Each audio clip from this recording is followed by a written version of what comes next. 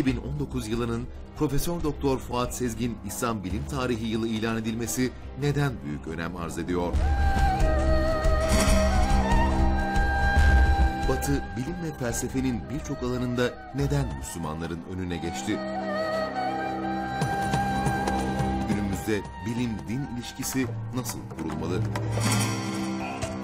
Allah'a inanç insana ne kadar? Allah'ın varlığının delilleri nelerdir? Kur'an'da ahiretteki aşamalar nasıl anlatılıyor? Tüm bu soruların yanıtı ve daha fazlası birazdan Profesör Doktor Caner Taslaman'ın konuk olduğu Emre Dolman'la aklımdaki sorularda.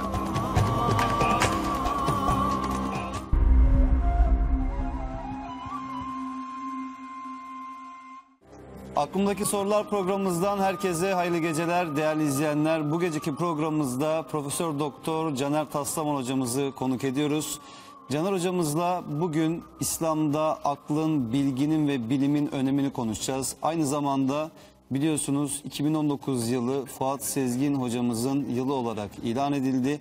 Biraz da bunun üzerinden e, hem Fuat Sezgin hocamızdan hem de İslam bilim tarihinden bahsetmeye çalışacağız. Hocam hoş geldiniz. Hoş bulduk. Nasılsın Emre'ciğim? Teşekkür ederim hocam. Siz de iyisiniz. İyiyim. Ee, hemen başlayalım isterseniz hocam. Elbette. Ee, 2019 yılı az önce de dediğim gibi hocam Fuat Sezgin Bilim Yılı olarak e, ilan edildi. Bu tabii çok mutluluk verici. Fuat Sezgin hocamızın e, İslam bilim tarihine özellikle yapmış olduğu katkılar her zaman gurur duyduğumuz, onur duyduğumuz e, katkılar oldu. Bunu nasıl karşılıyorsunuz ve bu konuda neler söylemek istersiniz? Kısa isterseniz buradan başlayalım. Ee, bunu çok büyük bir memnuniyetle karşıladım. Ee, inşallah bu 2019 yılı Fuat Sezgin hocamızın çalışmalarıyla ve Fuat Sezgin hocamızın çalışmaları dışında da İslam bilim tarihiyle insanların bilgilendirmesini sağlayan bir yıl olacaktır. Umarım bunun üzerinde de günümüzde Müslümanların bilimle, felsefeyle ilişkisinin nasıl o, e, bir ilişki kurması gerektiği de gündeme gelecektir. Bunlar bence tam ihtiyacımız olan konular. Ee, Fuat Sezgin Hoca'nın güzel bir lafı vardı kitabında geçe, geçen. Diyordu ki üretici, yaratıcı olmamamızın sebebi aşağılık kompleksimizden kaynaklanır.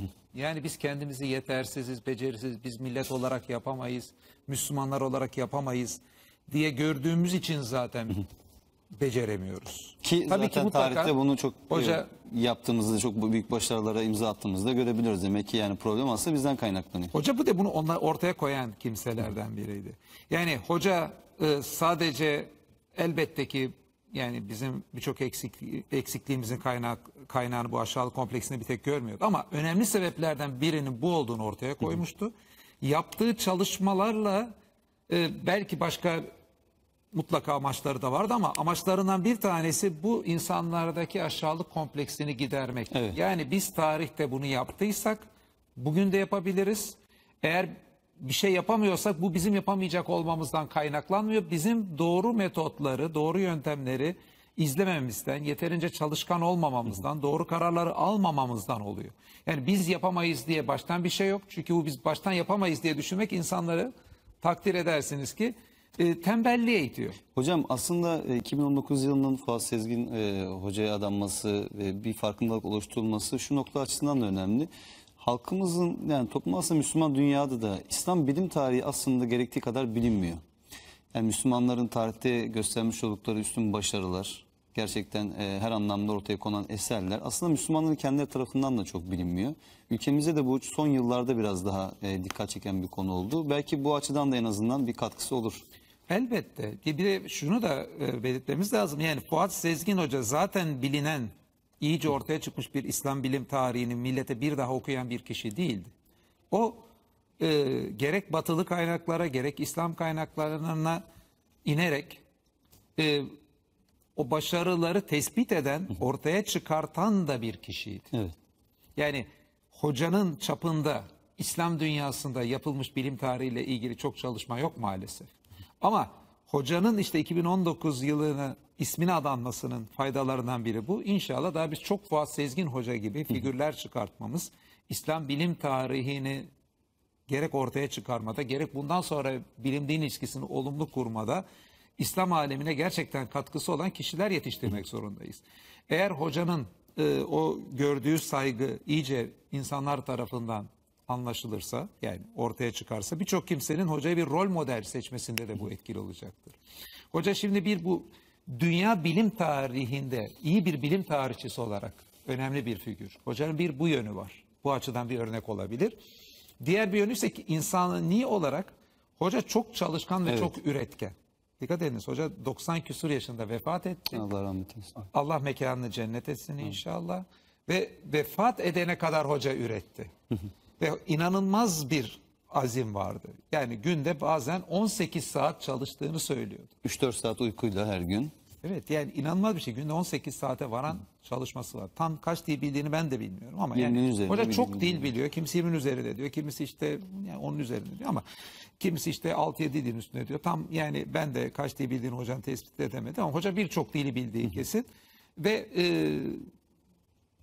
çalışmalarını daha yapmak için alandaki birçok dili çok iyi öğrenmiş.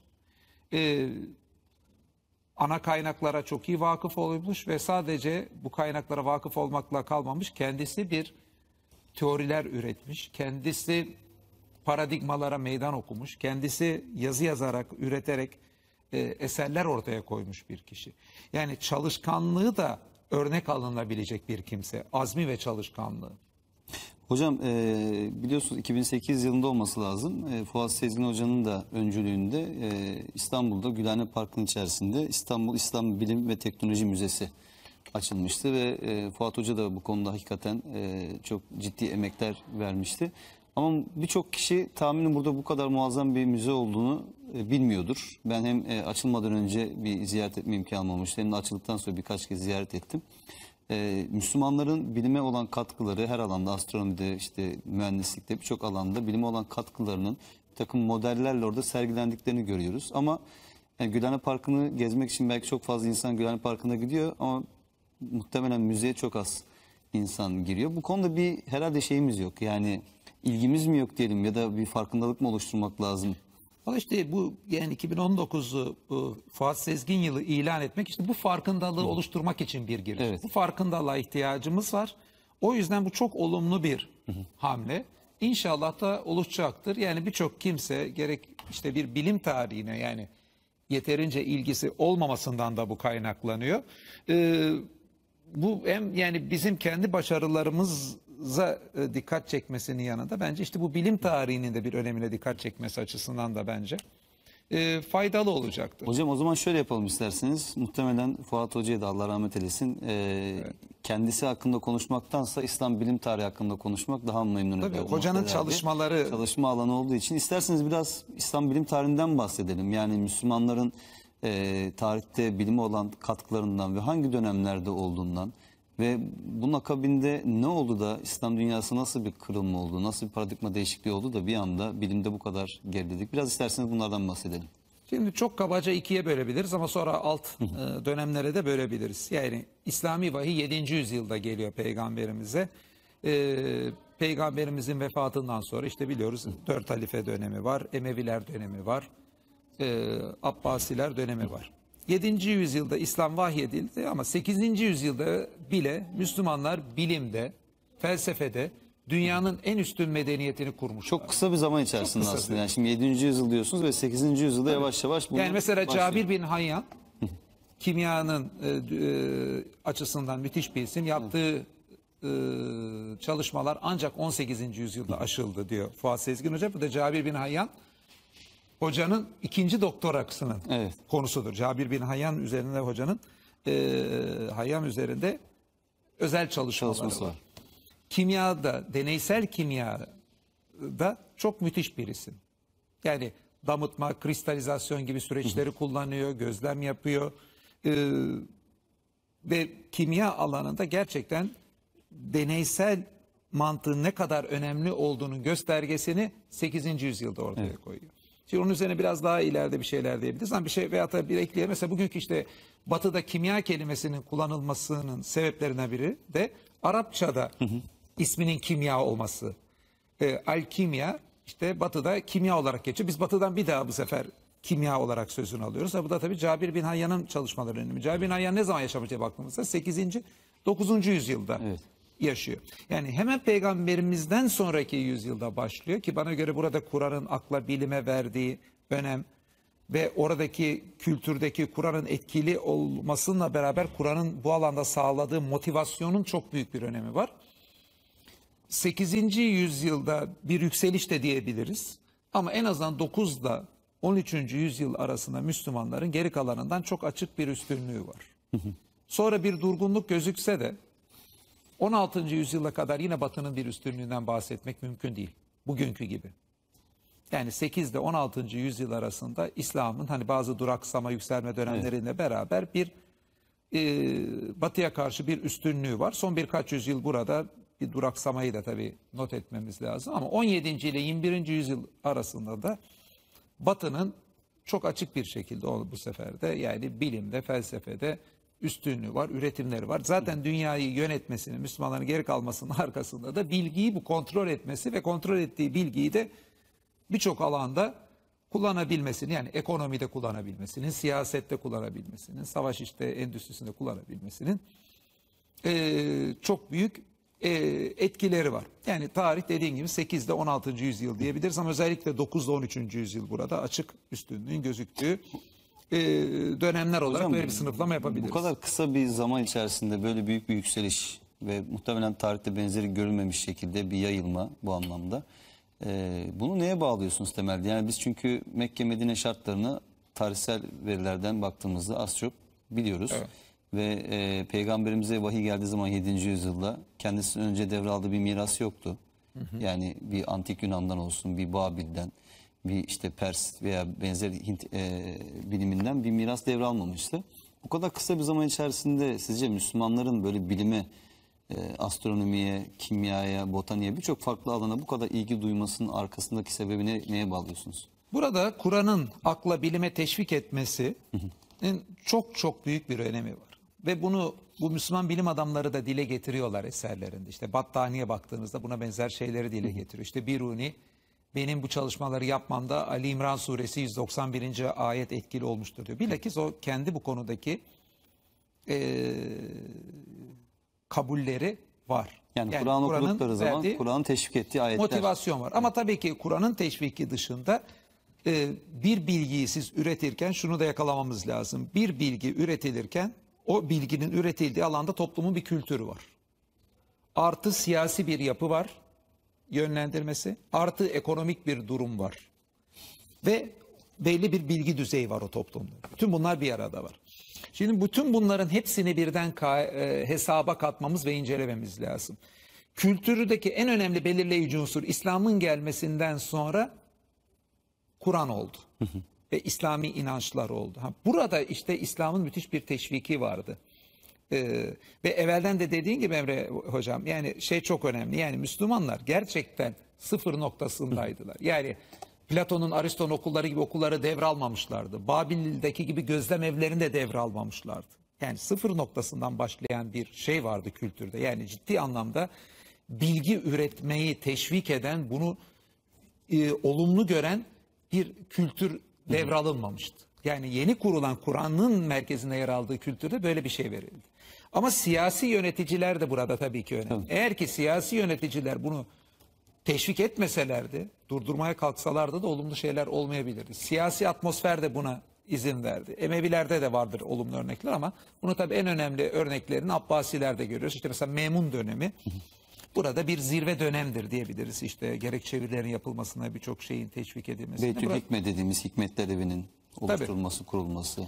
Diğer açıdan da siyasetin yeni alanlara yayılması, o yeni alanlardan gelen bilgiyi de mesela siyaset der ki bunlar işte düşman bu bilgiyi kesinlikle kullanmayın falan diye buna benzer bir tavır belirler veya kültürde öyle bir şey olur.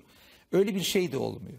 O yeni gelen bilgi de e, evrenle ilgili her bilginin Müslümanlığın bir bilgisi olduğunu, ilmin Müslümanların getirdiği bir şey oldu ve onu kazanması gerektiğiyle ilgili anlayış hakim oluyor. Bu işte Hindistan'dan geldi. Aa buna ilgilenmeyeyim denmiyor. Eğer böyle bir zihniyet olsaydı işte matematikle ilgili İslam alemindeki başarılar elde edilemezdi. Batıya da ondan sonra bunlar İslam aleminden geçemezdi. Perslerden siyasetle, yönetimle ilgili işte birçok şey alınıyor. Eski Yunan'dan felsefeyle ilgili yine bilimle ilgili birçok şey alınıyor.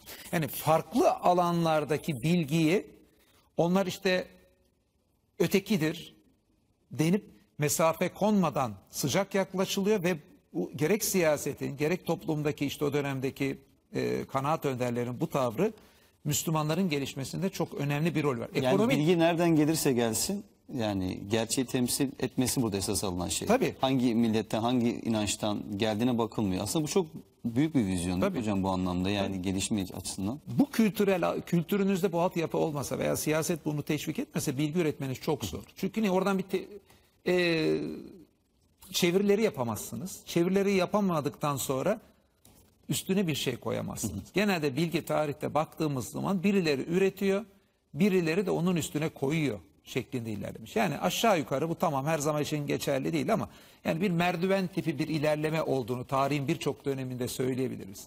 Newton da hatırlayın işte kendini birçok devin omuzlarında yükselen bir kişi gibi gösteriyor. Yani Newton'un yaptıkları kendinden önceki 17. yüzyıldaki Kepler'den, Galile'den, Descartes'tan bilimsel açıdan çok daha önemli. Ama o, o mirası kullanarak buraya geldiğini de bir yerde ifade ediyor.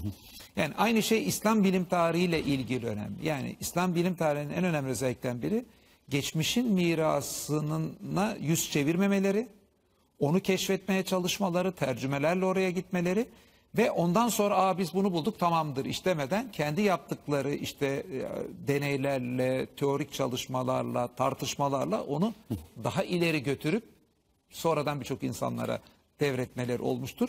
Burada tabi İslam'ın hızlı bölgeler ilerlemesinden kaynaklı bir ekonomik güç de var. O da dedik yani bir e, bilginin üretilmesiyle ilgili önemli. Yani insanların aç olduğu bir yerde belli insanların işte bilimle uğraşıp onun finanse edilmesi mümkün değil. Çünkü özellikle o dönemde günümüzdeki gibi hani bilginin para edip de paraya döndürülecek bir unsur olduğu da pek gözükmüyor. Günümüz kültüründe birçok insan bunu yakalamış vaziyette. Yani siz tıpta, elektronikte birçok şeyde buluş yaparsanız bu aslında paraya dönecek bir şey. O yüzden maddi endişelerle de günümüzde bilim teşvik ediliyor. Fakat o dönemde buna benzer bir şeyin olmadığını da hatırlarsak ya veya bugüne göre çok düşük olduğunu hatırlarsak bazı yerlerde tabii ki bu yakalanmıştır. Yani iyi bir harita yaparsanız İslam toplumunun birçok maddi veya başka e, siyasi başarıda getirisi de olabilir. Yakalanmıştır. Ama bugünkü kadar bu önde olmadığı için ekonominin iyi olmadığı bir yerde birçok kimse bilim insanla uğraşan insanları finanse etmeye yanaşmayacak. Yani o dönemdeki tabii ekonomik durumun belli bir seviyeye gelmiş olması da ayrıca o üretimde e, etkilidir. Yani kısacası bir toplumda bilimin neden oldu, neden başka yerde olmadı da burada oldu soruları sorulurken ve hatta olmadığı zaman da neden olmadı sorusu için de bence aynısı geçerli. Böyle tek bir unsurla bunları izah etmek pek mümkün değil. Ancak birçok unsurun toplamıyla böyle çok nedenli bir şekilde böyle global bir fenomeni tarif edebiliriz. E, Memun'dan bahsettik hocam. Halife Memun 800 yıllardan bahsediyoruz ve astronomi tarihinde bilinen ilk gözlem evini kuran kişi olarak e, kabul ediliyor. Birincisi ilki Bağdat'ta, diğeri Şam'da.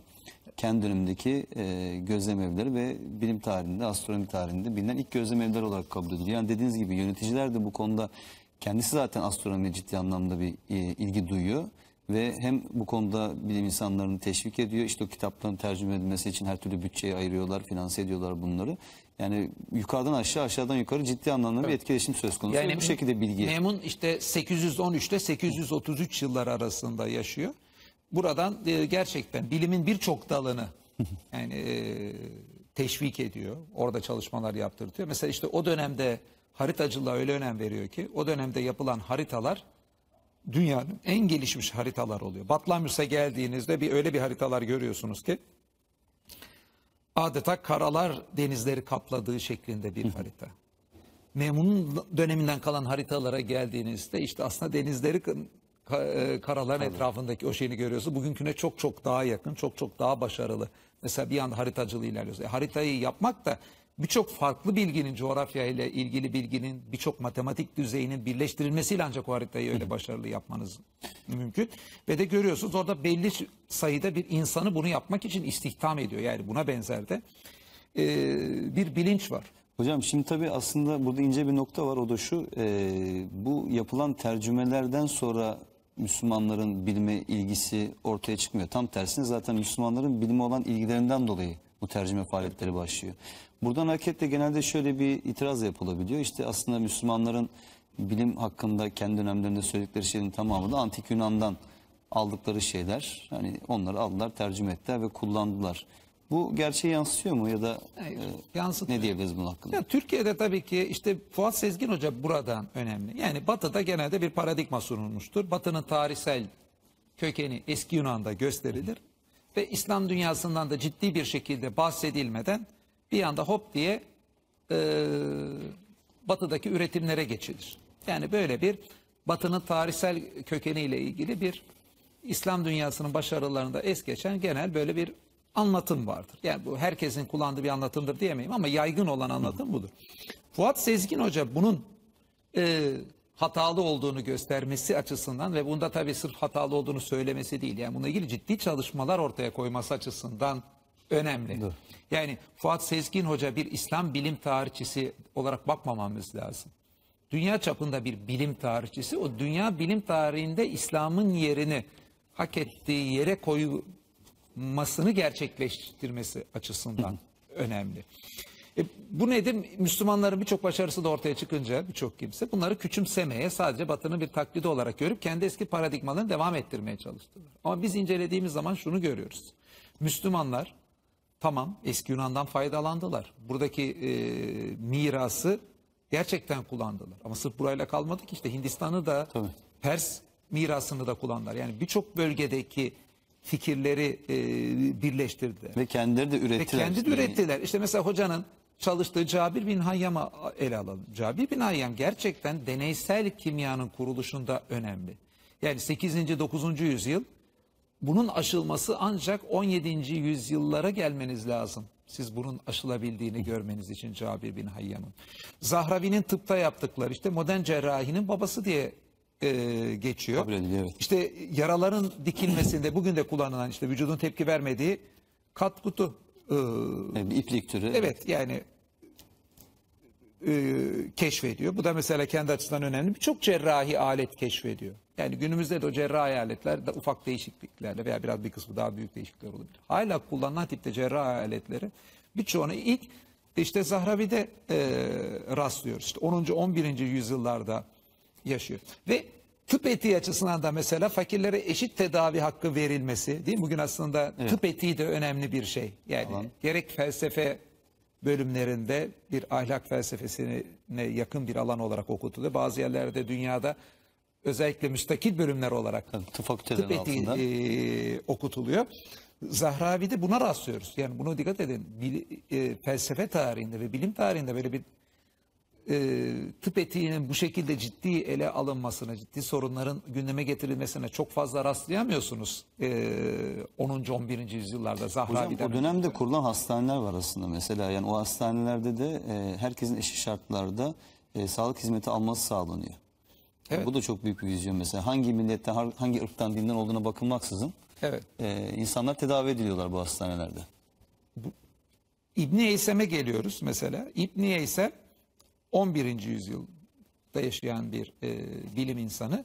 Gerçek anlamda deneysel ve gözlemsel bilimle uğraşıyor ve optikte müthiş başarılara imza atıyor.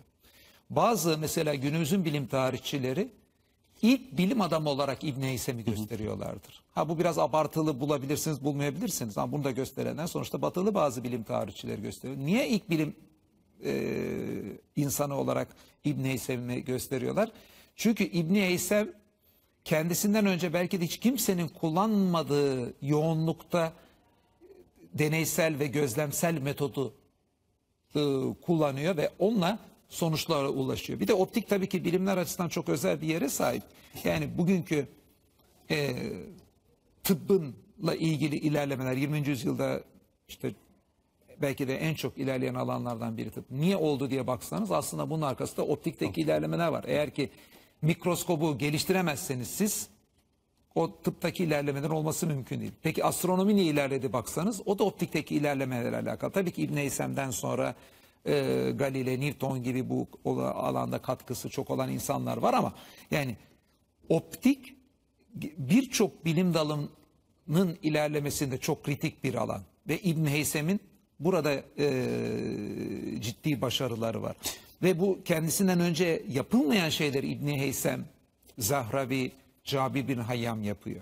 Hocam e, İslam- Yani demek istediğim yani bunlar sadece eski Yunan'dan kopyalanıp da sunulmuş şeyler olarak görülemez. Ee, İbn İsem'in hocam bu özellikle e, kendisini bilime verdiği önemi ve bilime yönelmesini teşvik edici ifadelerini burada hemen isterseniz kısaca alıntılayalım. Şöyle söylüyor İbn İsem. E, gerçeği arayan kişi eskilerin yazdıklarını araştırarak ve doğal eğilimini takip ederek onlara güvenen kişi değildir. Tam aksine onlara kuşkuyla yaklaşan, onlardan topladığı bilgileri sorgulayan, türlü türlü kusur ve eksiklerle dolu yapıya sahip insanların sözleri yerine delillere ve kanıtlara boyun eğen kişidir diyor. Bu şekilde bir e, anlayışı var ve şöyle söylüyor. Ben sürekli bilgi ve gerçeğin peşinde koştum ve Allah'ın ihtişamına ve yakınına erişebilmek için gerçek ile bilgi aramaktan daha iyi bir yol olmadığını inandım diyor. Yani aslında evren ayetlerini burada herhalde vurgu yapıyor. Yani evreni tanıma, bilim yapma, bilgi edinme ve Allah'ın ihtişamına vurgu yapıyor buradan hareketle. Burada Fuat Sezgin Hoca'nın da çok dikkat çektiği ve mesela önemli bir nokta vardır bir de. Müslümanlar eski Yunan'ın mirasını kullanıyorlar. Kullanırken ama hiçbir kompleks duymadan kullanıyorlar. Ne de mesela Aristo'ya ne diyorlar? Muallimi evvel. Yani ilk öğretmen diyorlar. Bu da neyi gösteriyor bir yerden? Kompleksiz bir şekilde oradan bir bilginin alındığı süreç var. Birçok yerde bir bakıyorsunuz işte Farabi'ye geliyorsunuz. Ee, Aristo ile Platon'un işte hangisinin nasıl haklı olduğunu savunuyor. Veyahut da İslam düşüncesinde onlara muhalefet edenlere karşı İslam düşüncesinin içindeki o isimleri değil. Bir bakıyorsun işte Platon'la Aristo'yu savunabiliyor. İsimlerini vererek dikkat edin sadece fikirleri değil. Yani böylesine bir kompleksiz e, ilişki kurma var. Fakat Batı özellikle 12. 13. yüzyıldan başlayarak İslam dünyasından çok fazla şey alıyor. Yani hem kendi tarihsel e, kökenlerini gördükleri eski Yunan'la ilgili birikimi İslam dünyası üzerinden tanıyorlar. Hem İslam dünyasındaki üretilen bilgileri alıyorlar. Fakat bunları aldıklarında ne diyorlar? İşte kafir Müslümanlar, putperest Müslümanlar şeklinde söylemlerle alıyorlar. Ve bir kitaplarına bakıyorsunuz Müslümanlardan çeviri yapılmış. Hiçbir şekilde isimleri yazılmıyor. Kaynak gösterin. Mesela Konstantinus Africanus diye bulunan bir bir kişi var. 25'e yakın tıp kitabını İslam dünyasından çevirmiş. Bunların hiçbirine İslam dünyasından çevrildiğini söylemiyor. Ya kendi adını yazıyor ya Galen'in adını yazıyor. Evet. Buna benzer bir ilişki var. Tabii ki bunun tarihsel koşullar da bunun önemli. Niye? Bu, İslam dünyasından Batı bu bilgi alırken İslam dünyası bir rakip gibiydi. Bu yüzden de e, ciddi anlamda bir kompleksiz yaklaşamıyorlardı. İslam dünyası eski Yunan'dan aldığında yani orada bir rakip olabilecek bir durumu falan yoktu. Ama yine de e, işte bu bir putperest kültürün içindedir bunların bir kısmı denerek bunlarla yine bir kompleksli ilişki kurulabilirdi. Yine de Müslümanlar o tarz bir ilişki kurmamış ama batı baktığımızda gavur İbn Rüşd diyerek İbn Rüşd'ün birçok fikrinden Aristo'ya yaptığı yorumlardan faydalandığını görüyoruz. Yani aradaki bu farkı da bir yerden e, not etmemiz lazım. Hocam şimdi tabii bunları anlatmak yani birkaç program yapsak muhtemelen Müslümanların bilime olan katkılarından e, bahsetmek yine de yeterli gelmez ama şimdi ben e, İnşallah izleyicilerimize 2019'da bu konuda bolca İnşallah. program yaparız hocam. hocam. Hazır yıl ilan edilmişken faydalanalım. yani burada aslında tabii biz gerçekten onurlanacağımız, gurur duyacağımız bir e, tarihimiz var. Müslüman alimler var bu konuda bilime katkı sağlamış olan ama e, tabii yani muhtemelen izleyicilerimizin aklına şöyle bir şey geliyordur. Yani geçmişte böyle şeyleri başarmış Müslümanlar evet ama bugün neden bu kadar geriyiz? Siz 16. 17. yüzyıla kadar aslında yine de e, İslam düşüncesinin, e, biliminin etkili olduğundan bahsettiniz. Her ne kadar böyle aşama aşama. Yani farklılıklar 13'te olsa bir duraksama 16'ya kadar yine bir devam etme gibi. Yani peki ne oldu hocam? Yani Müslümanlar felsefede ve bilimde bu kadar ileriyken nasıl bir kırılma yaşandı da Batı dünyası bir anda e, ileri geçti ve bu kadar arayı açtı? Veya yüzlerce yıldır Müslümanlar bu konuda niye e, bir farkındalık sahibi değiller? Şimdi en başta yükselişi tarif ederken e, şuna benzer bir yaklaşım e, ortaya koymaya çalışmıştım. Yani bu böyle büyük fenomenler çok nedenli bir şekilde genelde izah edilmek durumundadırlar. Yani tek bir nedenle bunu izah edemeyiz e, dedik. Aynı şekilde bunun neden olmadığı da tek bir nedenle izah edemeyiz. Birçok neden var. Nedir mesela işte 11. 13. yüzyıllar arası bir Haçlı seferleri var. Çünkü ne dedik yani bir bilgi üretilirken belli bir kültürde, belli bir ekonomik yapıda üretiliyor, belli bir siyasi iktidarında kararlarına bakmamız lazım ve belli bir bilgi düzeyi var orada. Yani hangi bilgi düzeyi? Yani bu dördüne birden bakmamız lazım. Şimdi oradaki ne olacak? Haçlı sef o seferleri bir anda ekonomik yapıya ciddi zarar veriyor. Ve bu sefer bir de üstte Moğollar geliyor. Moğol istilaları var evet. Burada mesela İslam aleminin siyasi olarak da belli gördüğü zarar, ekonomik olarak gördüğü zararlarında mesela burada ciddi bir etkisi var. Ondan sonra şunu da mesela bana göre bu bir sebeptir. Ama bunun üzerinden izah etmek yani çok hatalı olur. Yani ona birisi de gelip der ki size böyle tek böyle bir şey üzerinden izah etmeye kalksanız yani Birinci Dünya Savaşı'ndaki Batı dünyasının aldığı zarar, İkinci Dünya Savaşı'nda aldığı zarar senin bahsettiğin onlardan çok daha büyük. E, niye o kadar iki dünya savaşı daha çok özellikle İkinci Dünya Savaşı daha da fazla e, Tahribat yapmışlar. tahribatlı ve yani mesela Türkiye 2. Dünya Savaşı'na girmedi. Bir de biz de çok zarar gördük.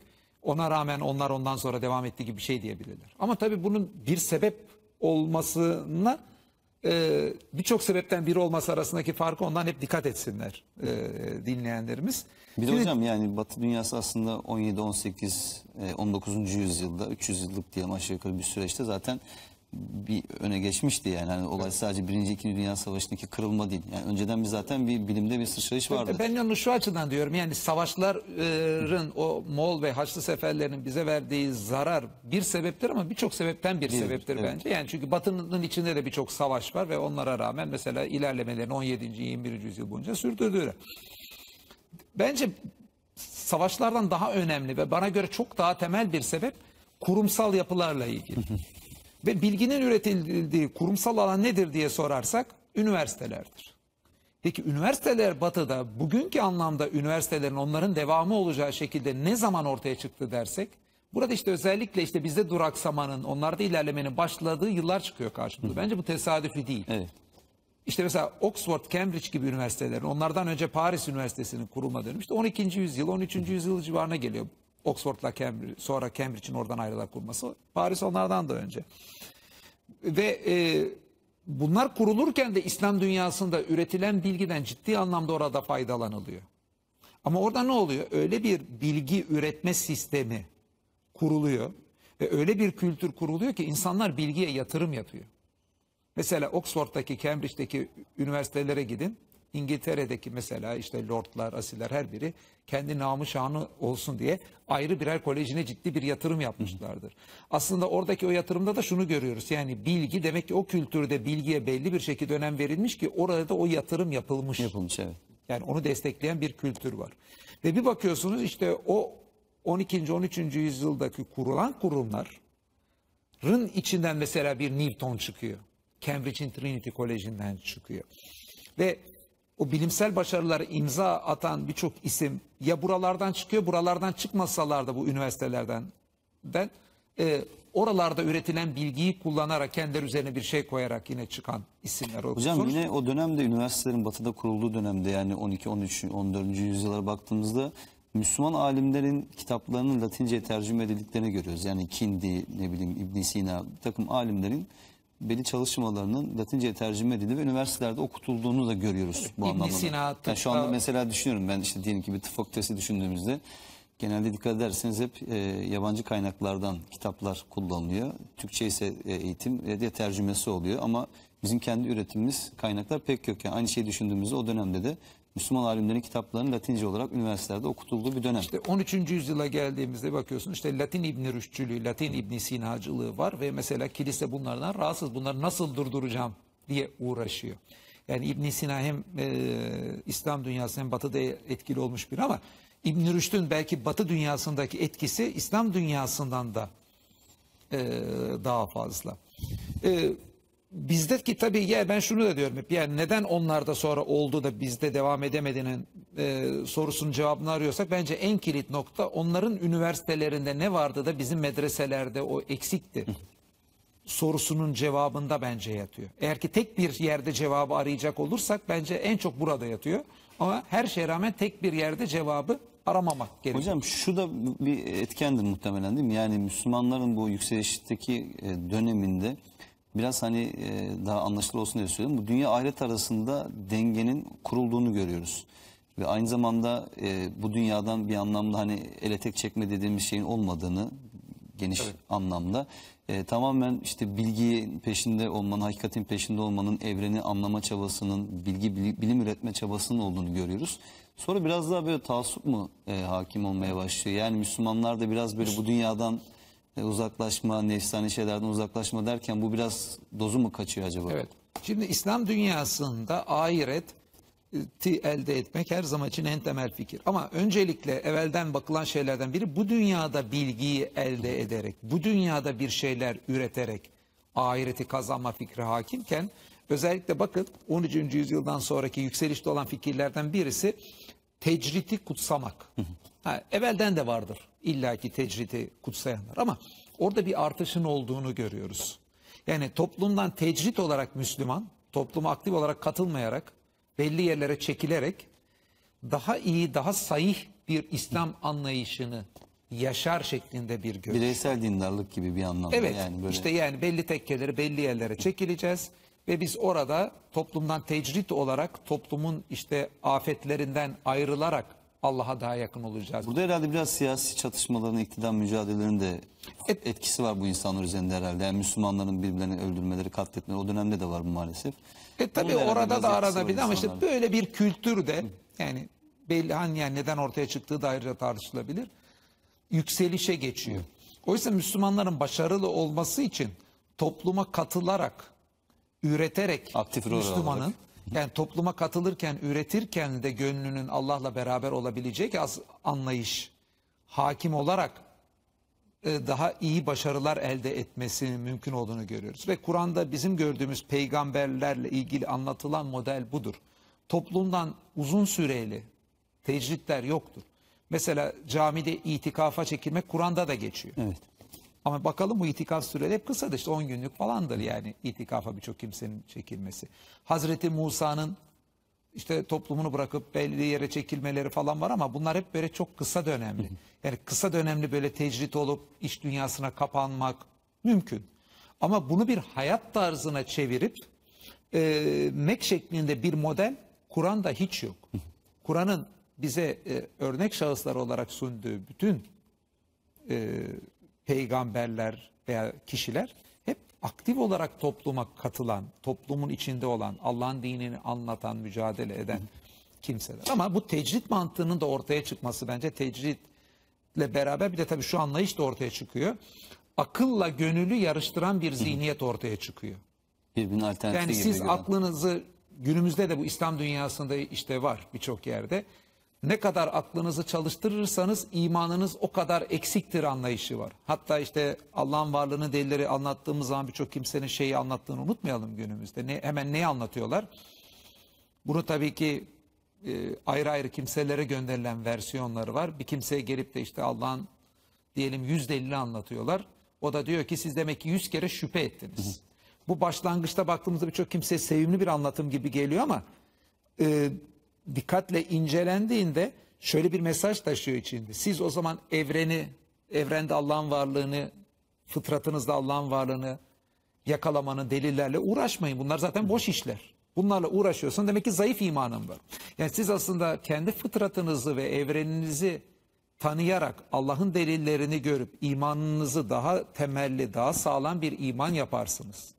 Daha çok şükredersiniz, Allah'la bağınızı güçlendirirsiniz diyen bir iman yerine bunlarla ilgilenirseniz zayıf imanlı olduğunuz ortaya çıkar diyen bir anlayışın sunumu bu.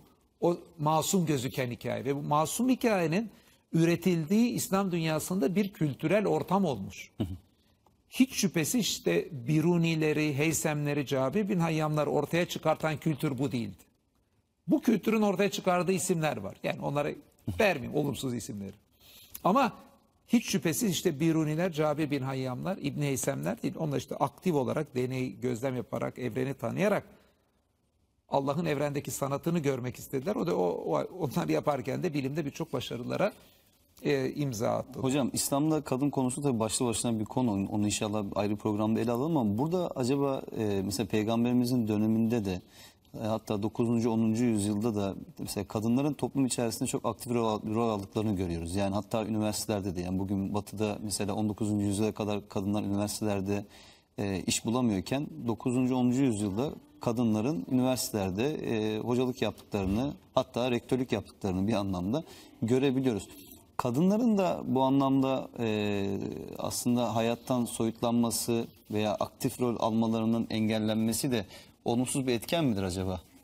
Şimdi e, e, tabii ki kadınlar toplumun yarısını. Evet. Kadınları aktif olarak hayatta tutmazsanız, onların üretkenliğinden faydalanmasanız bir anda toplumun yarısını Pasif hale getiriyor. pasif hale getiriyorsun. Bu tabii ki bütün toplum bunun bedelini ödüyor. Yani bunu sadece bir de şöyle düşünmek lazım. Hani kadını yetiştirmezseniz kadın erkeği yetiştiremez gibi.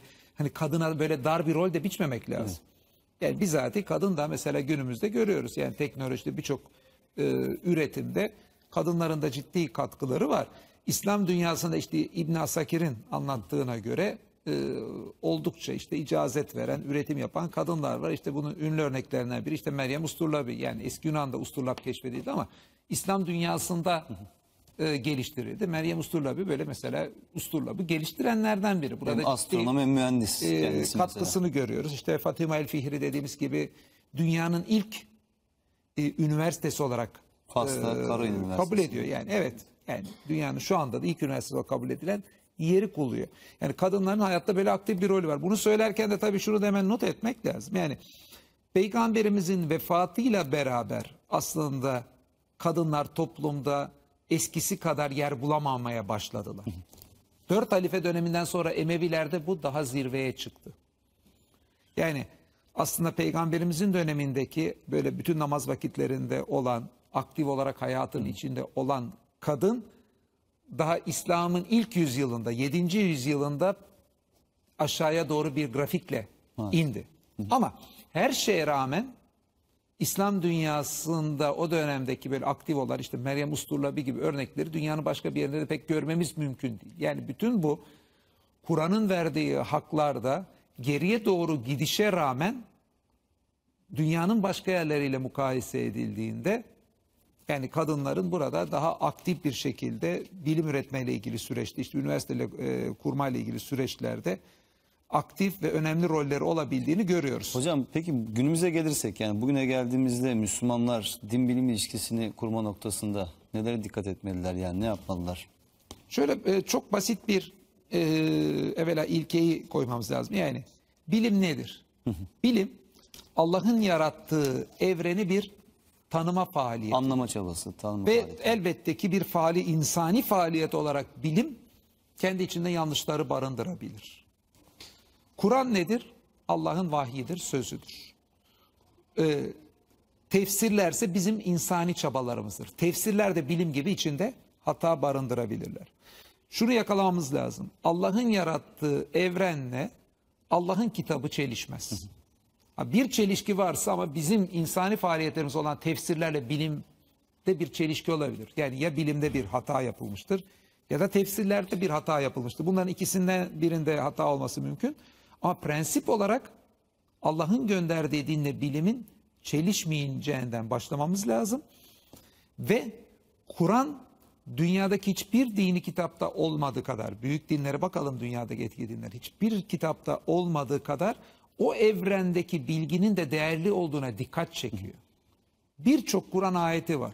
İşte onlar ayaktayken, yanları üzerine yatarken, derin derin düşünürlerde bunlar boş yere yaratılmamışlar diye işte Ali İmran suresi daha birçok yerde benzer ifadeler var. Ankebut suresinde haydi yeryüzüne çıkın da yaratılış nasıl başlamış bir bakın. Yani o gözlemlediğiniz şeyin kökeni nasıl oluşmuş bakın. Yani sürekli evrene Bunu ve bulur. evrendeki bilgiye davet eden ayetler var Evet. Kur'an-ı Kerim'de. Yani böyle bir durumda zaten çatışma gibi bir şey söz konusu olsa ayetler nasıl davet Yani- edecek evren anlamı? Kur'an sadece kendi bilgisinin değerli olduğunu, her şeyi bitirdiğini söylemiyor. Onun önemli olduğunu, Kur'an'ın hayatta bir nur, ışık olduğunu, bir müjde olduğunu, kalplerdeki hastalıklara şifa olduğunu, Furkan olduğunu kendisi, doğruyla yanlışı ayırt eden olduğunu, din için gerekli her şeyi açıkladığını, mufassal olduğunu söylüyor ama diğer taraftan da Kur'an evrene de davet edip o evrendeki bilgide de birçok ibretler olduğunu söylüyor. Ve birçok şekilde evrene da- e, davet ediyor. Hem mesela geçmiş kavimleri araştırmayla ilgili bir arkeoloji gibi bilimlere davet var. Bir bakıyorsunuz hayvanların incelemeyle ilgili davet var. Bir insanın kendisini incelemesiyle ilgili davet var. Gökleri incelemeyle ilgili davet var. Bugün bunların baktığımızda karşılıkları işte birisi fizik veya astronominin incelemesi gökler. İnsan bedeni işte biyolojinin veya hayvan bedeni biyolojinin incelemesi. Ee, baktığımızda bugün bizim e, bilimsel alanlar dediğimiz alanların her birindeki bilginin keşfedilmesine Kur'an'da birçok ayet ama yani öyle 5 ayet değil, 10 ayet değil, 100 ayet değil, yüzlerce ayette buraya bir davet var. Yani aklımızı çalıştırma ve evrene bakma Kur'an'ın önemli bir emri. Çünkü yani bir şeyin Kur'an'ın hani böyle tavsiyesi değil emri görülmesi için bazılarının koyduğu kriterlerden birisi bunun ısrarla ve tekrarla söylenmesidir. Yani Kur'an'da ısrarla ve tekrarla e, söylenen bir mesajdır. Burada İbn Rüşd'ün mesela bazı sözlerini de şuraya not etmiştim okuyayım mesela. Çok güzel Lütfen sözleri var. Bu prensipler tabii ki bizim günümüzdeki bilim İbn Rüşd'den çok daha ileri gitti ama İbn Rüşd'ün o koyduğu prensipler bence hala bilim din ilişkisinde önemli prensipler. Birine diyor ki hikmet şeriatın yani dinin kurallarının arkadaşıdır ve onun süt kardeşidir. Süt kardeşleri. Yani bu da bir yerde ne demek? Siz hiçbir zaman bilimle dini çatıştırmayının çok böyle güzel şekilde söylenmiş şey. Allah'ın bize akıl vermesi ve ona muhalif dini kurallar vermesi imkansızdır. Yani dini kuralları da aklı da birbirinize çatıştırmayın diye böylece bir yerde yani hem evrende olduğu gibi aklı kullanmaya, dinin kendisini anlamada da aklı kullanmaya Yani bir eee, anlamda- bir davet var. Din, bilim ve felsefe ilişkisi kuruluyor diyebilir miyiz hocam burada? Tabii tabii. İbn Rüşd bunun çok güzel bir modelidir. İkisinin metotları farklı olsa da sonuçta başlangıçta ve sonda aynı noktada buluştuklarını söyleyerek İbn Rüşd burada çok güzel bir model. Aslında aşağı yukarı Müslüman bilim adamlarının aşağı yukarı hepsinin ortaya koyduğu model budur. E, İbn Rüşd burada etkili bir sima ve bununla ilgili kitap olduğu için de ondan e, alıntı yapıyorum. Yoksa aslında bu görüş yani aşağı yukarı bir Müslüman bilim insanının çoğunun görüşü. Diğer bir sözü gerçek gerçekle çatışmaz ancak onu teyit eder. Bu da şey modeli bakın yani aslında Allah'ın evrenle ilgili yarattıklarının bilgisini doğru edindiğimiz zaman bir gerçek olduğu gibi Kur'an'ı biz doğru anladığımızda bunun tefsiri de bir gerçeği ifade ediyor ve bunların çatışması hiçbir şekilde e, mümkün değil. Yani Kur'an-ı Kerim Allah'ın e, vahiy e, kitabı olduğu gibi Allah'ın yaratmış olduğu evren de aslında bir anlamda Allah'ın evren kitabı. Tabii, tabii. Okunması gereken bir kitap ve hatta buna işte insan kitabını da ekleyerek yani Kur'an, evren ve insan olarak aslında bir anlama faaliyeti içinde olması gerekiyor her Müslümanın. Hocam tam bu noktada aslında bu- buraya da gelmek istiyordum yani din bilim felsefe ilişkisine. Biliyorsunuz yani ateizm ve deizm aslında yeni şeyler değil ama son yüzyıllarda özellikle popüler olmuş. Ee, günümüzde de ülkemizde de son zamanlarda epey tartışılıyor. Biz daha önce de sizle bu konuda program yapmıştık ama tam da yeri gelmişken biraz bunu da konuşalım istiyorum. Yani ateizmin ve deizmin yayılmasında ki bu noktada birçok kişinin e, özellikle gençlerin buna eğilim göstermesiyle ilgili şikayetler olduğunu görüyoruz. Veya çeşitli çalıştaylar, çalışmalar yapılıyor bunlarla ilgili. İşte Diyanet yakın bir zamanda böyle bir şey çalışma yaptı. E, üniversitelerde yapılıyor ki biz de 21-23 Eylül'de inşallah Siirt İlahiyat Fakültesi'nde olacağız sizle beraber. Evet, Kelam orada- koordinasyon toplantısı var. E, Kelam bölümü de- ateizm. Evet. Sen de bir kelamcısın hocam istiyorsan sen söyle bazı seyircilerimiz kelam nedir bilmiyorlar. Yani Belki. İlahiyat Fakülteleri Kelam Koordinasyon Toplantısı 21-23 Eylül'de Uluslararası İslam Düşüncesi'nin ateizm eleştirisi sempozyumu yapılacak. Buradan duyurmuş olalım. Yani e, Caner Taslaman hocamız, ben, e, Enis Loko hocamız ve birçok değerli e, ilahiyat hocamız, kelam bölümünde hocalarımız orada olacak. E, iki gün boyunca orada Uluslararası, Uluslararası yurt dışından bir- da evet, katılımlar e, var. ateizm- İlyas Çelebi hocamız gibi çok Evet, değerli hocalarımız da tartışması yapılacak, e, sunumlar yapılacak orada. E, katılım da serbest bildiğim kadarıyla yani Siirt İlahiyat Fakültesi'ne gelebilecek olan dostlara buradan en azından bunu- Bilmeyenler için de söyleyelim. Kelam e, alanı İslam düşüncesi içinde çok önemli bir alandır. Emre hocamın zaten İlahiyat Fakültesi'nde doktorasını yaptığı alandır. Onun temel alanı ama ben asıl alan din felsefesi olsa da kelamı kendi çalışma alanlarımdan biri de diye görüyorum. Yani ilahiyatta tefsir, hadis, e, İslam tarihi gibi e, bir kelam alanı da vardır. İlahiyat Fakültede bölümleri vardır. Bilmeyen seyircilerimiz için söyleyelim. Bunu da yine bir İlahiyat Fakültemizin düzenlediği sempozyum. Biz de severek burada katkıda bulunmaya 21-23 Eylül e, Siirt Üniversitesi İlahiyat Fakültesi. Buradan en azından onu duyurmuş olalım. Hocam e, şimdi yani bu bir şeyi gösteriyor. İlahiyat fakültelerinde geçen yılda hatırlarsanız Van'da yine kelam koordinasyon toplantısı olmuştu. E, oraya katılmıştık sizle beraber. Orada da deizm konusu e, işlenmişti. Oraya siz gidip beni unuttunuz hocam. Ha, hocam, siz siz beni, beni orada ektiniz gittiniz niye hatırlamıyorum veya ben gelemedim. Deizm konusu işlenmişti. Orada da bir yine ben bir sunum yapmıştım deizm üzerine. Ee, yani ilahiyat fakültelerinde özellikle işte kelam din felsefesi alanlarında bu konu işleniyor. İşte Diyanet bu konuda çeşitli çalışmalar yapıyor. Daha önce Diyanet İşleri Başkanlığı bir dergi yayınlamıştı. Ağustos sayısını deizm, ateizm ve nihilizme ayırmıştı. Şimdi toplumda bununla ilgili bir şey var, ihtiyaç var e, ve e, cevap arayışı var. Bu noktada ateizme ve deizme e, bu konulara gençlerin yönelmesinde din, bilim ve felsefe ilişkisinin doğru kurulamaması bir etken midir? E, ya da başka ne tür sebepleri vardır? Biraz isterseniz bunlardan bahsedelim.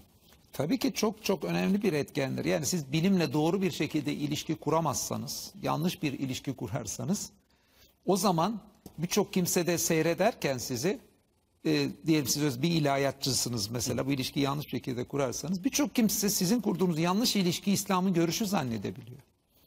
O zaman İslam'ı bilim düşmanı, bilimle sorunu olan bir din olarak görüyor. Ve ne yazık ki İslam'ın yanlış olduğu kanaatine geliyor. Aslında birçok İslam kelamcısı Gazali gibi bu konuda ciddi uyarılar yapmışlar.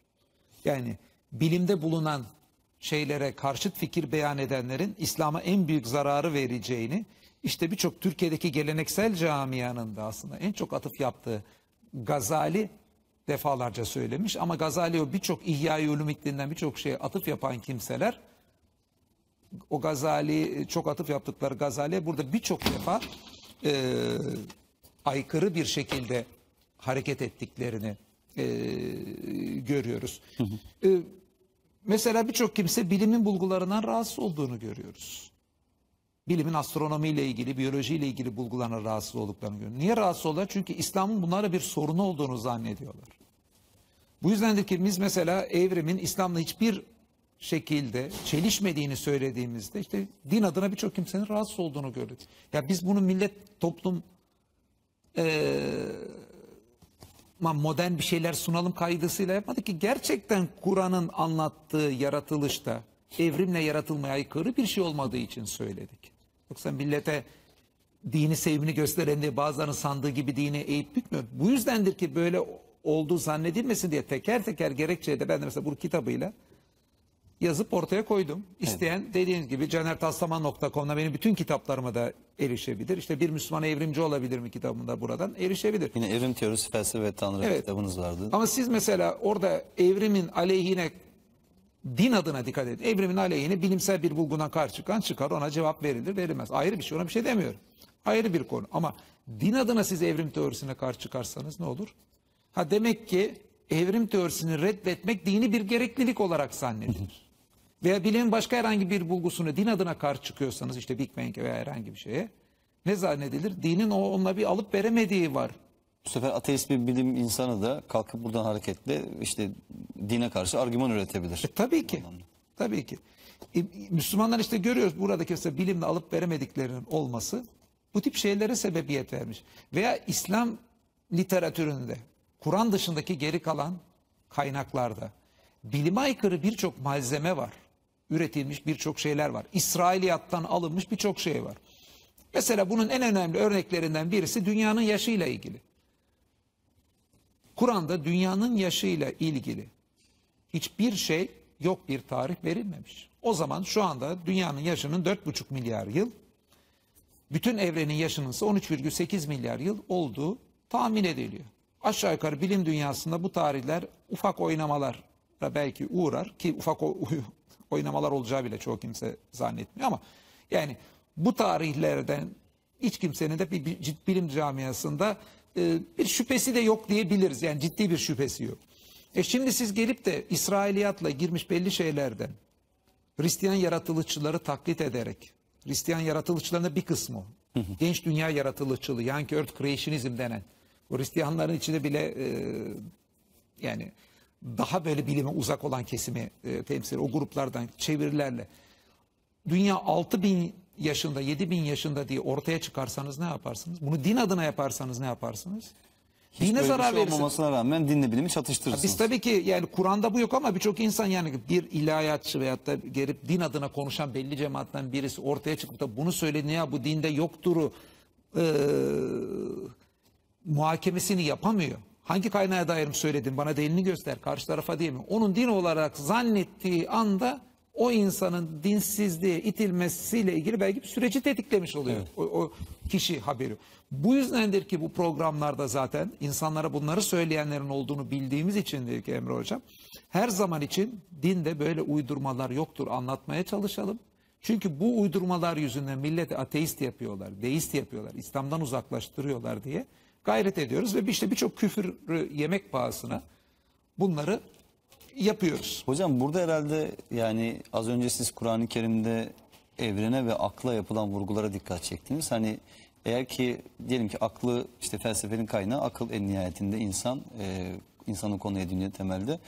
E, felsefe akıldan besleniyorsa diyelim ki aklı felsefenin yerine koymak işte evren ayetlerinden bahsediyor Kur'an-ı Kerim. Evreni de e, evreni de bilimin yerine koymak. E, Kur'an vahyi zaten bizatihi kendisi. Ya bütün bunlar aslında bize Kur'an-ı Kerim'in teşvik ettiği yani felsefe yapmak ya da işte bilim yapmak Kur'an'ın teşvik ettiği şeylerse o zaman bir Müslümanın bunları bu üçünü birbirinin alternatifi görmektense yani bu üçüyle birlikte hakikati anlama, kavrama çabası içerisinde olması gerekmez mi? Elbette, elbette. Yalnız burada şunu da bilmemiz lazım. Yanlış tefsirler din adına olabildiği gibi bilimde de yanlış görüşler, felsefede de yanlış görüşler vardır. Ama orada yapılması gerektiği şey nedir? Tefsirlerde yanlışı düzeltmek olduğu gibi bilimlerde de e, felsefede de yanlış görüşleri düzeltmek asıl olandır. Yani Görüyor- itiraz edilecek şey yanlış Tabii. görüştür. Bilimin kendisi değildir. Günümüzde işte postmodernizmin etkisiyle her şeye şüpheci bakan yaklaşımlar görüyoruz. Ve yine, yine yanlış bir felsefi o, e, akımın bana göre uzantısı olan pozitivizmle bilimi dinin yerine ikame etmeye çalışan pozitivist felsefelere tanıklık ediyoruz.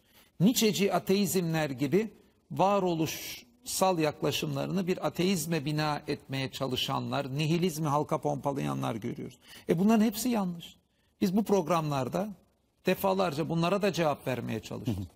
Ama şimdi yani böyle e, yanlışlar yapıldı diye biz felsefenin yanlış olduğunu söyleyemeyiz. Çünkü felsefe bir arena. Aklı çalıştırmayla ilgili bir arena. Farklı fikirlerin de çarpıştığı bir arena. Ha, aynı anda birçok farklı fikir söyleniyorsa elbette ki bu fikirlerin hepsi birden doğru değil. Yani felsefede farklı fikirlerin seslendirilmesi demek. Bütün bu fikirler eşit saygınlık hak ediyor. Eşit şekilde Veya bir doğru. konuda doğru yoktur. Felsefe sadece akıl bulanıklığıdır demek hiç değil. Tarihin büyük felsefecilerine bakarsak hepsi de kendi koydukları fikirden oldukça emindiler.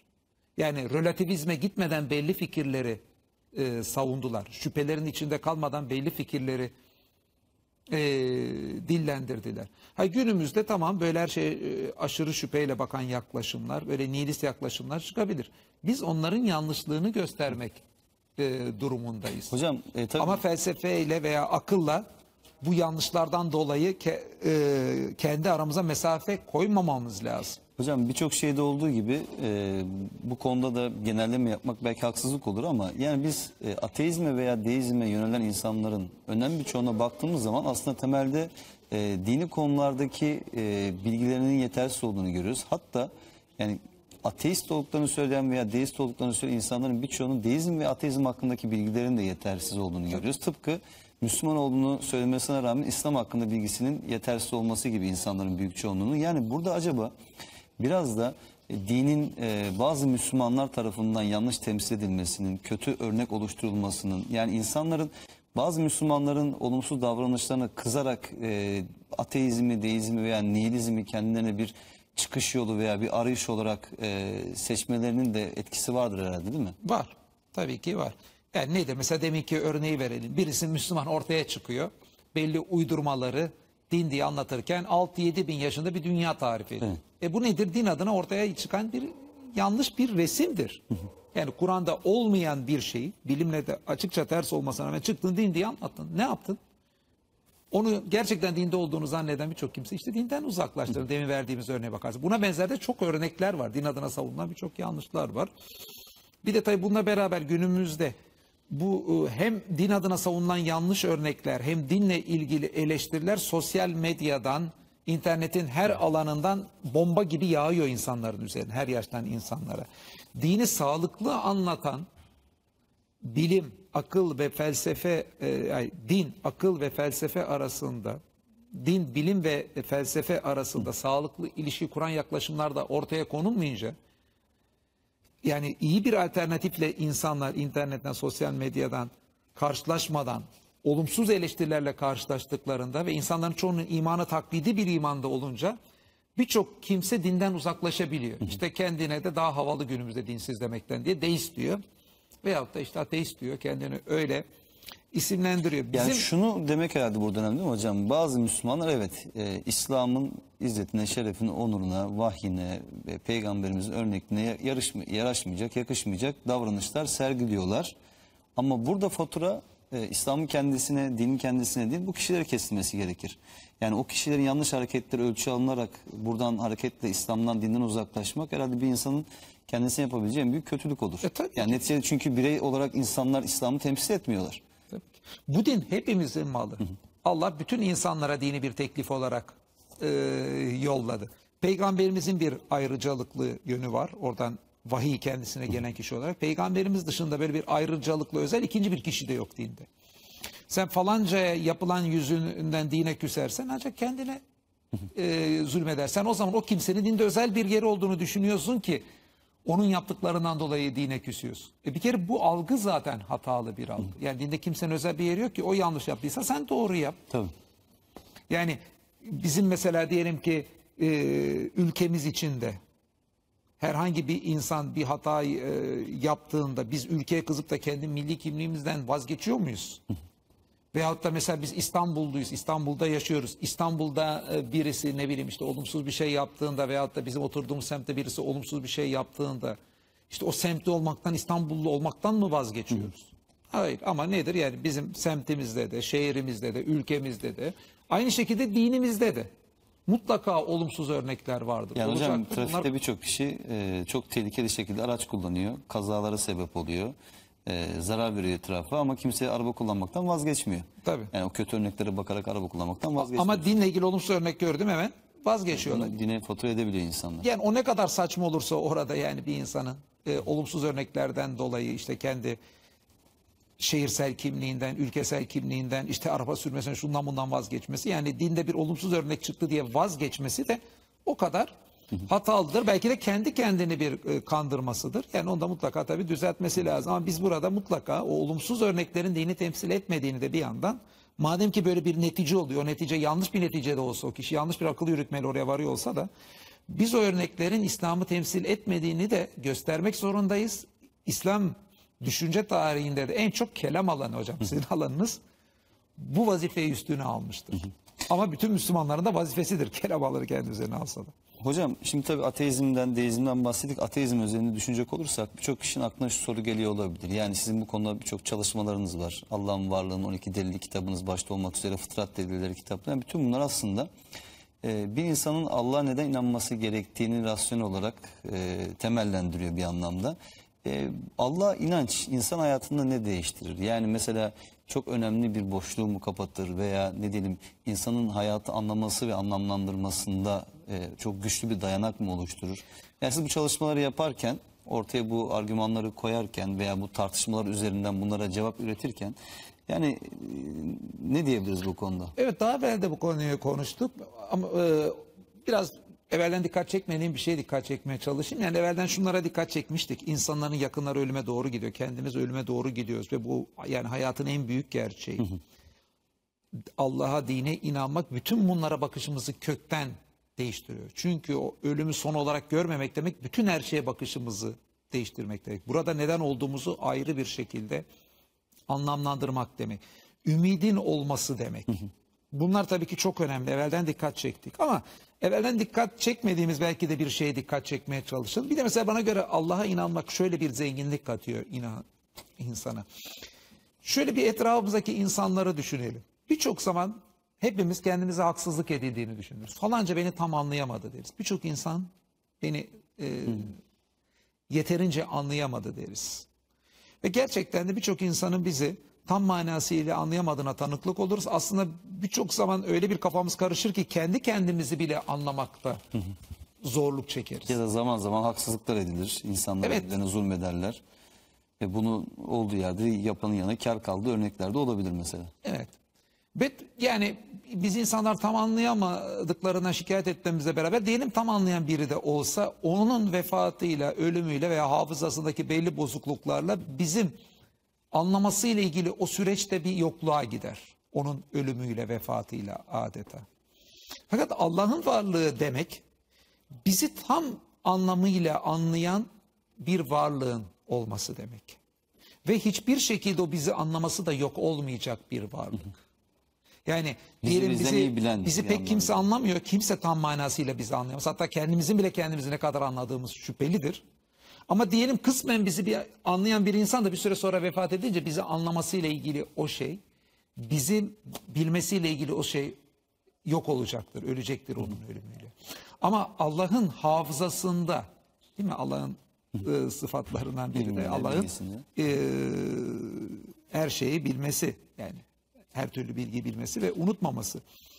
Allah'ın bilgisinde hiçbir şey kaybolmayacağı için yine Allah'ın sıfatlarından birisi evvel birisi ahir olması olduğu için yani herhangi bir kesintiye uğrama, uyuklama süreci de olmadığı için Allah her an ve sonsuza dek bizim ne olduğumuzun farkındadır. Hocam bu mesela dualarda çok e, dikkat çekici oluyor. Mesela normalde iki insan diyelim birbirlerine bir şey anlatmak istedikleri zaman ya da herhangi bir yerde sunum yapıyorken yani sunum yaptığınız kişilerin o meseleyi anlamasını istiyorsunuz ya da bazen bir şey yanlış ifade edebiliyorsunuz, yanlış anlaşılmak istemiyorsunuz, düzeltmeye çalışıyorsunuz ama mesela dua ederken insan hiç böyle duygulara kapılmıyor, hiç böyle şeyler. Çünkü biliyorsunuz yani hani kalbinizden geçeni, zihninizden geçeni Allah en iyi şekilde biliyor ve siz bu kelimeleri ifade ederken, söylerken buna, buna olan güveninizle ifade ediyorsunuz. Bu çok büyük motivasyon. Yani acaba Allah beni yanlış anlar mı diye bir derdiniz yok. Acaba bunu yanlış mı ifade ettiğim şeklinde bir düşünceye kapılmıyorsunuz. Yani içinizden geldiği gibi yöneliyorsunuz ve bu çok aslında güven verici bir motivasyon. Yani Allah'ın var olması demek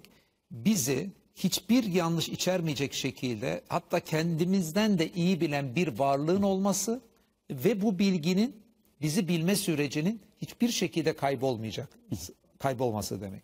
Ve şunu buna dikkat edersek bu varoluşsal açıdan bizi aslında çok zenginleştirecek bir şey. Yani dünyadaki bütün insanlara kendimiz de yok olsak da aslında beni benden iyi bilen bir varlık var. Aslında ben de onun zaten sayesinde var oldum ve bu beni bilmesi de yok olmayacak. Hiçbir şekilde bana haksızlık yapması mümkün değil. Beni benden iyi biliyor demek. Yani bu o zaman hocam bizim bu dünyadaki varlığımızın başıboş olmadığını, anlamsız olmadığını, değersiz olmadığını da gösteriyor mu? Tabii beraberinde? gösteriyor ama onunla beraber şuna da dikkat çekmek istiyorum. Yine bu dediklerine evvelden dikkat çektiğimiz için bu bizim varoluşsal açıdan çok da zenginleştiren bir şey. Ona dikkat etmemiz lazım.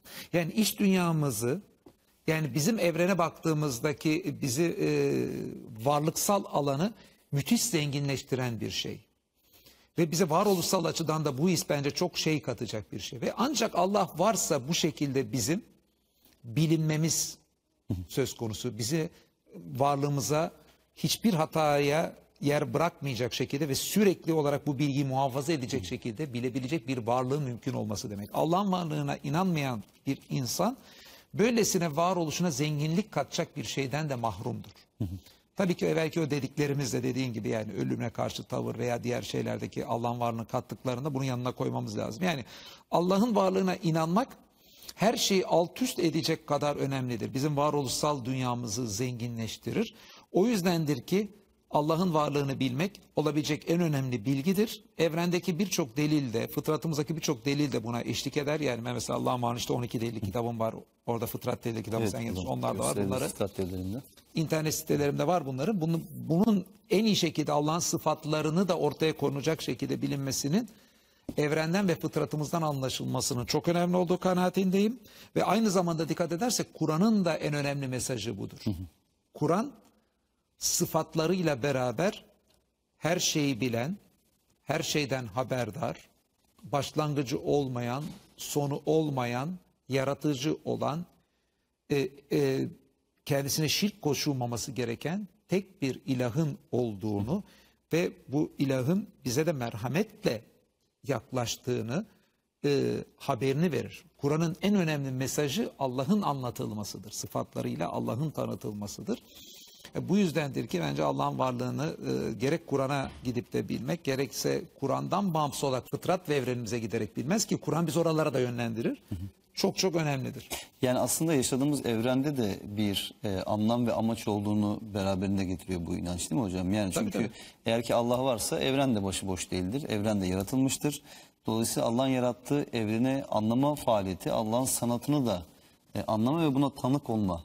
Bunu da beraber. Tabii bunun bilgisel bir yönü olduğu gibi varoluşsal bir yönü de var. Varoluşsal yönü şudur. Biz evrenle bu şekilde ilişki kurduğumuzda da aslında iç dünyamız bence müthiş zenginleşir. Yani ben evrenle ilişki kurduğumda Kur'an'ın anlattığı şekilde bir evrenle ilişki kurduğumda hiçbir şeyde tesadüfe yer yok. Tam da onu ben bir karıncaya, kuşa, gökyüzüne baktığımda tamamen Allah'ın sanatını ve kudretini gösteren, bunda aracılık eden şeylere bakıyorum deyip de onlara bakıyorum. Allah'ın bir sanatına bakıyorum deyip de bakıyorum.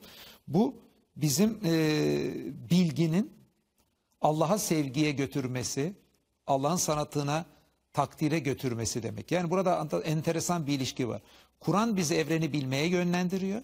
Biz evreni bildikçe Allah'ın sanatını daha çok tek takdir ediyor. Allah'ı daha çok biliyoruz. Allah'ı daha çok bilip de işte Kur'an'a sarıldıkça da Kur'an yeniden bizi evrene yönlendiriyor. Yani böyle bir şey var. Yani hem Kur'an bizi oraya yönlendiriyor hem evren bizi Allah'a yönlendiriyor. Kur'an'a İkisi birbirine yönlendiriyor ve evren bizde hayret hissi uyandırarak muazzamlığıyla, mükemmelliğinde aslında bu dinle ilgili meselelerin, evrenin yaratılmasıyla ilgili meselenin her şeyden daha önemli olduğu hissi uyandırıyor. Çünkü hayret bizi ayağa kaldırır.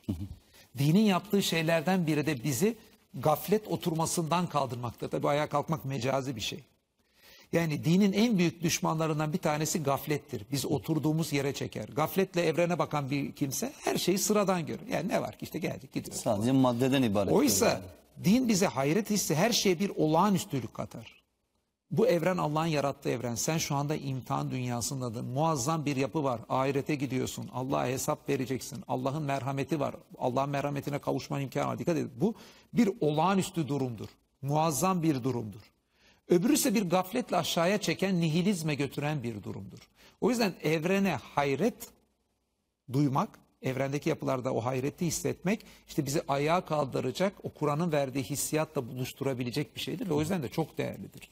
Hocam tam aslında bu noktada sormak istediğim şey de e, şuydu. Allah'ın varlığının 12 delili isimli kitabınızda evrenin potansiyeli delili konusunu işliyorsunuz. Biraz bunu paylaşabilir misiniz izleyenlerimizle? Yani aslında herhalde anlattığınız konuyla ilişkili oluyor bu noktada. Tabii. Şimdi e, Allah'ın var 12 delilinde bir evrenden deliller, bir iç dünyamızdan deliller diye ikiye ayırdık. Bu evrenden delillerden bir tanesi evrenin potansiyeli delili. Şimdi po- potansiyel ne demek? Evvela ona dikkat çekmemiz lazım burada. E, yani şu kağıt var diyelim. Bu kağıdın potansiyelinde ne var? Bu yani bundan bir bu kağıdın potansiyelinden diyelim bir e, uçak yapıp şöyle atabilirsiniz. Evet. Ama buradan sizi Singapur'a uçuracak bir uçak dünyanın en maharetli adamı olsanız da bundan yapamazsınız. Niye? Çünkü bu kağıdın potansiyelinde öyle bir uçak olmak yok veya bu kağıttan bir çay çıkmaz. Ne kadar becerikli olursanız olun. Hani o kağıttan çok güzel şekiller yapanlar var. Belki bu kağıttan acayip güzel bir resim çıkartabilirler hocam. Kağıdın orasını burasını kopararak ama ne yaparsan yapın çay yapamazsınız. Çünkü dünyanın en kabiliyetli adamı da olsanız bir şeyden ancak onun potansiyelinin el verdiklerini yapabilirsiniz. Bunu bir legolara benzetebiliriz. Yani legolardan diyelim çocuklar bir zürafa şekli yapabilirler, edebilirler ama dünyanın en becerikli insanı da olsa bütün dünyadaki insanlar bilseler de legolardan gerçek bir zürafa çıkartamazsınız. Ee, niye? Çünkü yani legolar da mümkün legoların mümkün olan herhangi bir birleşiminde zürafa yok. Siz Legolardan ancak onların mümkün olan bileşimlerinde işte ona potansiyelin el verdiği şey o mümkün olan bileşimlerinde ortaya çıkacak Yani şeylerdir. potansiyel ne imkan veriyorsa size ancak o imkan sınırları içerisinde bir şeyler Evet, yapabilirsiniz. yani bir yerde potansiyel imkan demektir. Yani o imkanın size verdikleri ancak aktüel olabilir. Evet. Yani pamukta veya polyesterde işte bir gömlek potan, olma potansiyeli olduğu içindir ki gömlek olmuştur. Yani olmasaydı olmazdı. Yani bir şey eğer ki bir şey olduysa onun potansiyeli o zaten var demektir. Şimdi bizim evrenimize bakalım. Bu bilgiyi bir kenara koyalım. Bizim evrenimize baktığımızda e, her şey önce bir enerjiye dönüşebiliyor. Enerjiden maddeye dönüşüyor. Maddede temel parçacıklar var. Yani kuarklar, elektronlar gibi en temel parçacıklar var. Bu kuark ve elektronlar temel parçacıkların içinde potansiyel olarak bütün bu varlığı taşımasıyladır ki bu varlık oluşuyor. Oluşmuş. Veya kuarklardan bir adım yukarıya çıkalım, birkaç adım. Kimyadaki tablo. Yani Allah maddeyi yaratırken e, o maddedeki potansiyeli de yaratıyor ki Evet. o onunla açığa çıkıyor bütün bunlar. Veyahut da işte kimyadaki atomlarla ilgili tabloyu alalım. Temel elementlerle ilgili. Yani 200'den az sayıda element var evrende. Ve bu 200'den daha az sayıdaki elementin bileşmesiyle çeşitli şekillerde bütün varlık ortaya çıkıyor. İşte demir, eee, oksijen, hidrojen, helyum, karbon gibi bu değişik farklı temel elementler bileşiyorlar. Bütün varlık ortaya çıkıyor. Burada şu soruyu sormamız lazım. Bana göre çok temel bir sorudur bu. Ne oluyor da bu o temel parçacıklarda veya kimyadaki bu atomlarda bütün bu varlığın ortaya çıkartacak potansiyel vardı. Bu bence çok dev bir sorudur. Hangisi bunu? Şimdi temel iki tane görüş görüyoruz felsefi olarak baktığımızda. Günümüzde işte yeni ateistlerin de temel görüşü evrenin ezeli olduğunu, her şeyin e, evrendeki yasalar ve tesadüfün bileşimiyle ortaya çıktığını söyler. Yani iki tane teorimiz var evreni açıklayacak. Ya tek bir Allah var, bütün bunları bilinçli olarak yarattı. Veyahut da madde ezeliydi, bütün her şey tesadüfen ortaya çıktı. O zaman bu dev soruya cevap vermek için de bir mukayese edelim. Bu iki tane teorimizden hangisi bu oluşumu daha iyi açıklıyor? Yani bu temel parçacıklarda bu kadar büyük bir potansiyel olup da ortaya çıkmasıyla ilgili durumu. Ha, burada temel olarak inceleme noktalarına bakabiliriz. Birincisi, baktığımızda evrene görüyoruz ki bu potansiyel öyle bir yere geliyor ki milyonlarca canlı türü, milyonlarca e, farklı özelliğiyle ortaya çıkıyor. İşte kuşların uçması, dikkat edin potansiyelde var. E, belli canlıların belli işte asitler falan atarak kendini savunması var. E, belli canlıların ağ yapması var, ışık üretmesi var. İnanılmayacak avlanmada, beslenmede çok büyük, müthiş bir potansiyel var. Yani canlılar dünyasında, bitkilerde de benzer bir şekilde var. Bunlar ister evrimle olsun, ister ayrı yaratıldı ne dersen de, yani hangi teoriyi kabul edersen et, sonuçta evrenin potansiyelinde en baştan onlar olmasa bunların ortaya çıkması mümkün değil. Dikkat edin burada ona bakıyoruz. Aradaki süreçlerde ne olup olmadığı mümkün değil. Arada hangi süreci koyarsan koy, başlangıçta dediğin gibi hani bu kağıdın potansiyelinde olanı sonra istediğini bu kağıtla yapmasana hakkını vereyim. Kağıdın potansiyelinde olandan fazlasını yapamazsın. Başlangıçtaki atomlarda canlılarla ilgili bu kadar büyük bir çeşitliliğin ortaya çıkması potansiyelde olmasaydı hiçbiri olmazdı. Ha, ateizm açısından bu kadar büyük bir çeşitliliğin, potansiyelin ortaya çıkmasını beklenir kılacak hiçbir unsur yok. Dikkat edin çok muazzam bir çeşitlilik var. Ama teizm açısından bakarsak bunun ortaya çıkmasını beklenir kılacak birçok unsur var. Niye? Çünkü Allah sanat ve kudretini göstermek içindir ki bu kadar çok çeşitli canlıyı, bitkiyi ortaya çıkartacak bir düzeni kurdu, sistemi kurdu ve o sistemi öyle bir işletti ki bunları çıkarttı. Muhteşem bir uyum var Tabii. sistem içerisinde. Felsefi açıdan da şunu yakalamamız lazım. Eğer ki karşımızda gördüğümüz bir tabloyu beklenir kılacak bir açıklama yapabiliyorsanız bir de karşıt görüş eğer ki onu beklenir kılmıyorsa mümkün olan doğru açıklama onu beklenir kılan açıklamadır. Yani şimdi ne dediğimi belki birçok kimse karıştırmıştır ama basit bir örnek vereyim bununla ilgili. Diyelim ki Ali ile Ahmet koşu yarışı yapıyorlar. Ali e, ile Ahmet'in koşu yarışı yaptığında kimin kazandığını görmüyoruz. Fakat Ali sevinçli, Ahmet üzgün. Şimdi neyi bekleriz? Ali'nin kazanmış olması. Ali'nin kazanmış olmasını, Ahmet'in kaybetmiş olmasını bekleriz. Dikkat edin yarışı görmesin. Şimdi karşımızda da aynı şekilde alalım. Bir evren duruyor karşımızda. Karşımızda evren bu potansiyeliyle var. Böyle zengin potansiyeli var. Hangi teori doğruysa evrenin bu potansiyeli olmasını bekleriz? Aslında potansiyel bilinçli olarak bu kadar zengin yaratıldıysa böylesine bir zenginin ortaya çıkmasını bekleriz. Tesadüfen ve kendi kendine bir oluşumunda bu kadar zengin bir yapının ortaya çıkmasını beklemeyiz. Aslında o zaman muhtemel açıklamalardan hangisi daha doğrudur? Değil mi? Bu potansiyelin bilinçli bir gayeyle bu şekilde düzenliğini anlatan açıklama daha doğrudur. Ha başka bir yerden de gitmeye çalışalım. Güzel kavramı. Aslında bir programda inşallah güzel kavram üzerine de konuşalım. Felsefe açıdan çok önemli bir kavram. Güzeli açıklamak çok zordur felsefi açıdan ama güzelle ilgili en temel özelliklerden birisi güzel olan kendine çeker. Güzeli kendi içinde değerli görürüz. Güzeli meydana çıkartan bir şey varsa, yapan birisi de varsa o sanat ederini ona da bir yerde onu güzel görmekle iltifat etmiş oluruz. Güzel yani kendini ortaya çıkartana iltifat ettirten, kendi içinde değerli olan ve çekici olandır. Güzelle ilgili illa bir tarif yapacaksak. Şimdi evrene baktığımızda bir de güzelliğin ben her insanda doğuştan olduğunu düşünüyorum. Çünkü güzel çok komplike bir kavram fakat bu kadar dünyadaki farklı kabilede, kültürde her bir insan kendi kültürüne göre farklı güzellik anlayışı olsa da aynı güzel kavramını çok rahat bir şekilde kullanıyor. Ee, baktığımızda evrende bizim güzele karşılık geldiğini söyleyebileceğimiz birçok şey var.